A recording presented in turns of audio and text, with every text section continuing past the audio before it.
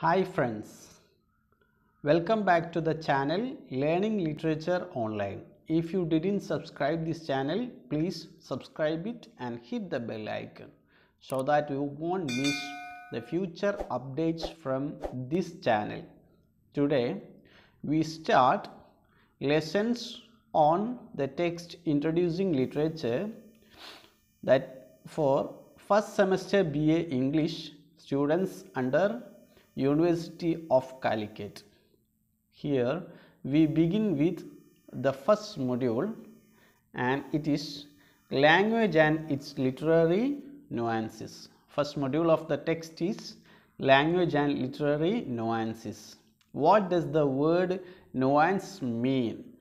Nuance is the very slightest or minute or small difference in meaning, expression or sound of a word.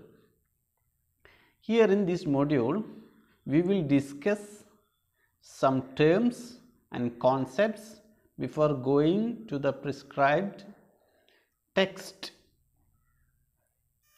Okay, the module comprises of two sections.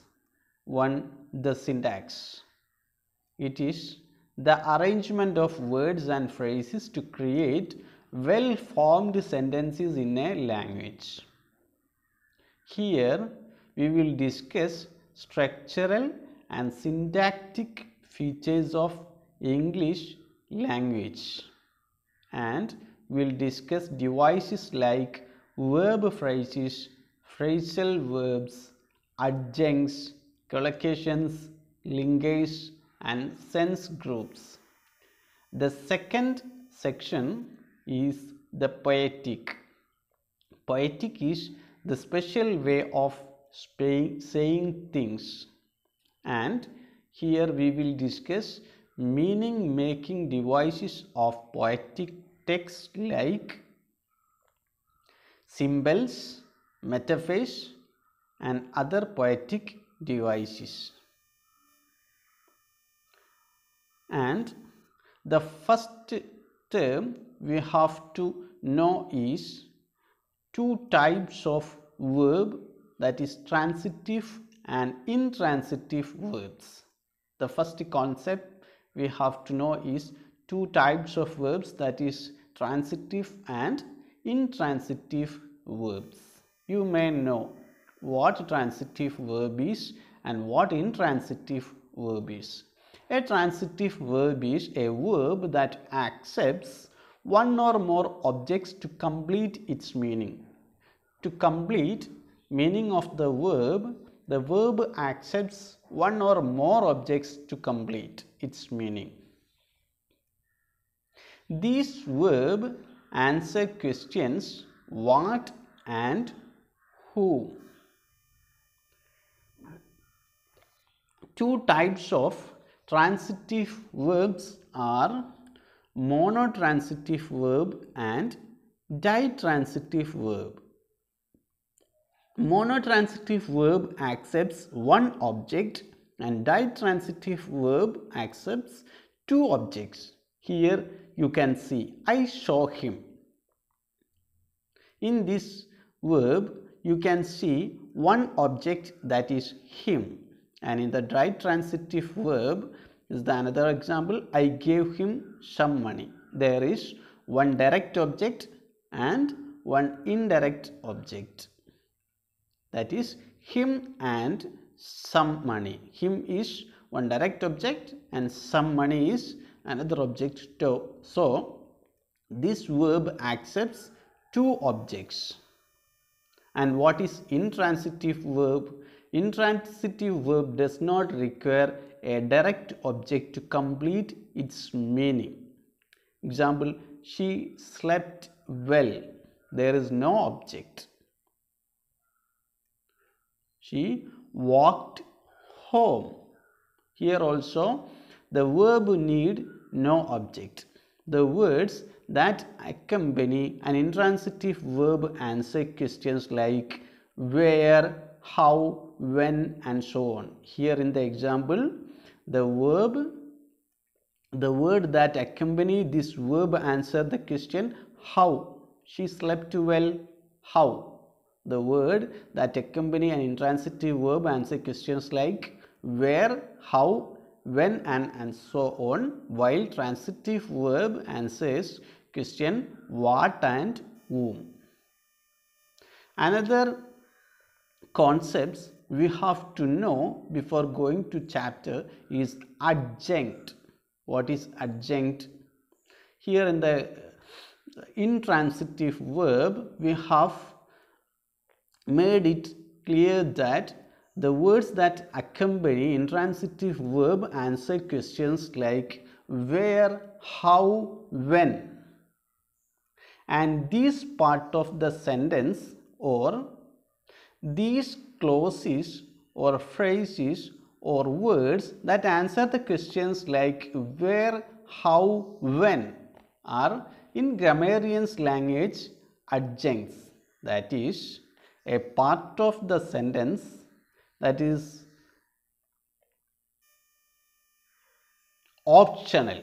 A part of sentence that is optional and is not an object of the verb or structurally dispensable part of a sentence clause or phrase that if removed or discarded will not otherwise affect the remaining part of the sentence. Will not affect the remaining part of the sentence. She slept well. Well if avoided will not affect the sentence. The sentence is complete. She slept with the slept itself she slept the sentence is complete. She slept well here well is an adjunct. He spoke last night. Here in the sentence he spoke last night. Last night is an adjunct. That is uh, that can be avoided സെന്റൻസിന്റെ ഭാഗമായിട്ട് ഓപ്ഷണലായിട്ടോ മറ്റോ ഒഴിവാക്കിയാൽ അതിന്റെ അർത്ഥത്തെ ബാധിക്കാത്ത അല്ലെങ്കിൽ മറ്റു സെന്റൻസിന്റെ മറ്റു ഭാഗത്തെ ബാധിക്കാത്ത തരത്തിലുള്ള സെന്റൻസിന്റെ ഭാഗമായിട്ടുള്ള ക്ലോസ് ഫ്രേസ് എന്നിവയാണ് അഡ്ജങ്സ് എന്ന് പറയുന്നത്. സാധാരണ നേരത്തെ പറഞ്ഞതുപോലെ words phrases and a- that answer the questions where, how and when. These are adjuncts. And adjuncts are supplementary that can be avoided. അത് ഒഴിവാക്കാവുന്നതാണ് not essential അനിവാര്യമല്ല അഡ്ജങ്സ് are not essential അത് അനിവാര്യമല്ല okay next concepts concept we have to d- know is particles particles are function words that must be associated with another word or phrases to impart meaning that must be a- associated അത് അവിടെ ഉണ്ടായിരിക്കണം particles are function words uh, particles are function words that must be associated with another word or phrase to impart meaning does not have its own lexical definition. As it is function word ഇതിന് അതിന്റേതായിട്ടുള്ള അർത്ഥമൊന്നും ഉണ്ടാവില്ല lexical definition ഉണ്ടാവില്ല but it must be there to impart meaning to another word or phrase മറ്റൊരു വേർഡിനോ ഫ്രേസിനോ അർത്ഥം ലഭിക്കണമെങ്കിൽ ഇതുണ്ടായിരിക്കണം.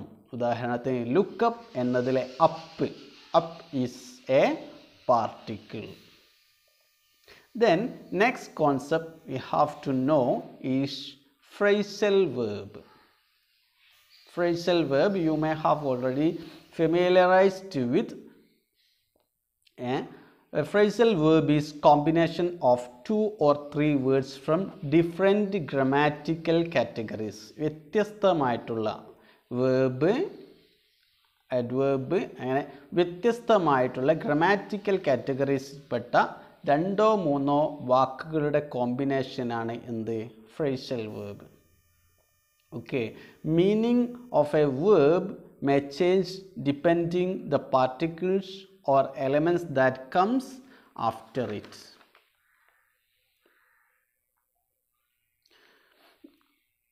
meaning of the verb may change Meaning of the verb may change depending the particles or elements that comes after it. അതിന്റെ അർത്ഥം ഓരോരോ അതിന് ശേഷമുള്ള പാർട്ടിക്കിൾസ് മാറുന്നതിനനുസരിച്ച് അല്ലെങ്കിൽ എലമെന്റ്സ് മാറുന്നതിനനുസരിച്ച് ഇതിന്റെ അർത്ഥം വ്യത്യാസപ്പെടാം. ഉദാഹരണത്തിന് put on put in put up put off put out put up with put on means wear put on എന്നുള്ളതിന്റെ അർത്ഥം ധരിക്കുക എന്നുള്ളതാണ്. Put in means add or increase വർദ്ധിപ്പിക്കുക അല്ലെങ്കിൽ കൂട്ടിച്ചേർക്കുക എന്നുള്ള അർത്ഥമാണ്. പുട്ടപ്പ് മീൻസ് കൺസ്ട്രക്റ്റ് നിർമ്മിക്കുക എന്നുള്ള അർത്ഥമാണ്. പുട്ട് ഓഫ് മീൻസ് പോസ്റ്റ്പോൺ നീട്ടിവെക്കുക എന്നുള്ള അർത്ഥമാണ്. പുട്ട് ഔട്ട് മീൻസ് എക്സ്റ്റിങ്കിഷ് കെടുത്തിക്കളയുക തീ അണക്കുക എന്നുള്ള അർത്ഥമാണ്. പുട്ടപ്പ് വിത്ത് ടോളറേറ്റ് ടോളറേറ്റ് ചെയ്യുക എന്നുള്ള അർത്ഥമാണ്. Okay. The very put itself the meaning of the way put itself change with particles associated with it. Next concept we have to know is collocation. Collocation is two or more words that often go together. Collocation is two or more words that often goes together that is collocation. These combination just sound uh, right to native english speakers who use them all the time. Native English സ്പീക്കേഴ്സിനെ സംബന്ധിച്ചിടത്തോളം ഈ combination right ആയിരിക്കും and on the other hand other combination may be unnatural and just sound wrong അത് മറ്റു combination അതേ സമയത്ത് wrong ആയിട്ടും അവർക്ക് തോന്നും. ഉദാഹരണത്തിന് അത് കൺവെൻഷനൽ ആയിരിക്കും ഹെവി റെയിൻ എന്ന് പറയും. സ്ട്രോങ് റെയിൻ എന്ന് പറയൂല. റെയിൻ എന്നതിനോട് എപ്പോഴും കൊളക്കേറ്റ് ചെയ്യുന്ന വേർഡ് ഏതായിരിക്കും? ഹെവി എന്നായിരിക്കും. മേക്ക് ദ ബെഡ് എന്ന് പറയും. ഡു ദ ബെഡ് എന്ന് പറയുന്നില്ല. Okay these are collocations and discharged from hospital എന്ന് പറയും.